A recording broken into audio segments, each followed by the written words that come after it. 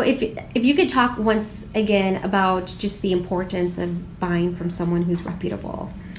Well, you always want to use you, you, you want to buy your tickets through a business and somebody that has been around for a long time, somebody that is local. Because if you have an issue with somebody that's out of state, you, what recourse do you have? At least if you, you're dealing with somebody local and you have an issue, you can deal with you know you can go to the state attorney general or whatever. You know, it's easier to um, solve a problem.